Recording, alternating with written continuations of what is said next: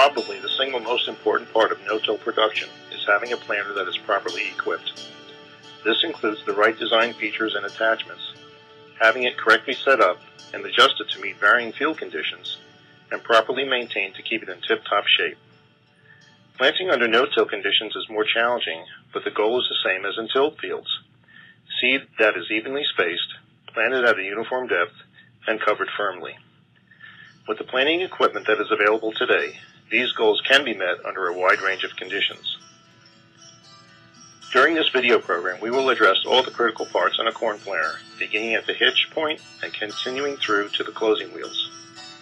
Think about how these things relate to the planter that you have and the types of field conditions you might encounter. Perhaps you will discover something that leads to better stands and higher yields. Uh, first and foremost, we want to make sure the planter is level front to back. And the easiest way to start that operation is to measure the uh, hitch plate at the front of the planter on the front of the tongue. And that's this plate right here between my fingers not the added on part that was put onto this planter. This is an add-on aftermarket and would throw your markings off or your measurements off if you measured from any part of it. You want to go with this line straight in here from my finger and you want the bottom of this plate to be right at about 14 inches.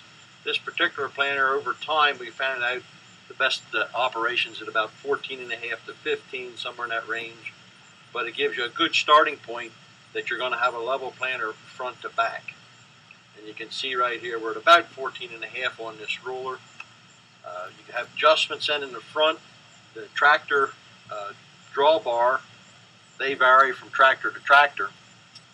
And you can turn them up or down, flip them over. And uh, some tractors you can't change the height of the drawbar, in which case you would use the uh, holes here in the front of the hitch uh, plate to adjust the hitch clevis on the planter and you can put it up or down till you get this height from the ground and you can also uh, flip the hitch clevis over to give you an additional set of adjustments. So that's the basic thing is to do that combination of operations between the drawbar and the tractor, the hitch clevis on the planter, adjust that so that this plate when you're hooked up to your tractor is between 14 uh, to 15 inches from the ground. And I think the operator's manual, most of the planters, it's 14. There are many row cleaning wheel variations.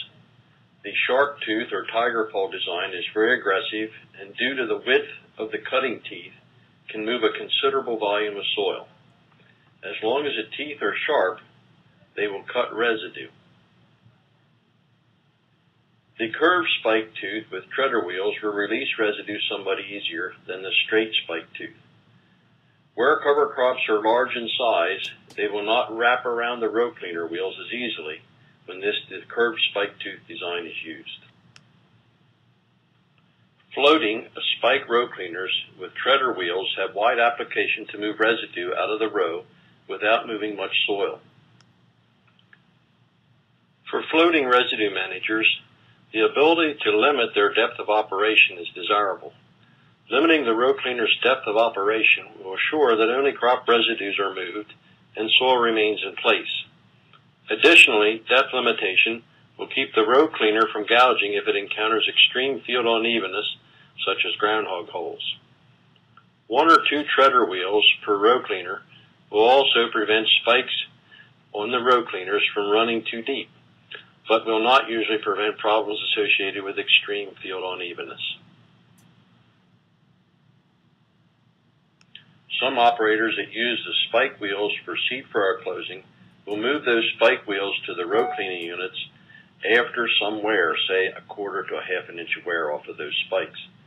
This allows the soil not to be easily moved by the row cleaners. Okay, here you have the shark tooth or tiger claw row cleaner with an adjustable height mounting system. Once you set it, that's where you're going to be set. So the ground's not very even, your row cleaning's not going to be very even. Solid concave disc row cleaners are aggressive cutters and will clear most any residue material from the row area. Due to their aggressiveness, they can potentially move too much soil if not equipped with a depth gauge wheel. In no-till coulter selection, a 13-wave coulter is one of the most preferred designs. The 13-wave is aggressive, has some row cleaning action, and loosens soil to aid in good seed-to-soil contact, while greatly limiting the potential for seed furrow sidewall smearing and or compaction. The turbo no-till coulter is used where soil penetration is challenging as they generally will more easily penetrate the soil in dry planting conditions. Care must be taken in moist planting conditions to monitor seed furrow sidewall smearing with the turbo no-till coulter. We have here the bubble coulter uh, put on this no-till planter. It's actually a misfit for this planter. The bubble coulter is a minimum till coulter, and when it's used in a no-till planter, can create some problems. The design of the coulter uh, allows, as it runs through the soil, for the bubbles to smear the sidewall uh, of the seed trench and then slick it as it raises up out of the soil as it turns. And so you have that sidewall smearing and compaction problem, which probably is the initial reason why they went. Many people went to spike closing wheels to try to break up that sidewall smear and compaction you got from this coulter, which is actually not designed to be on a no-till corn planter.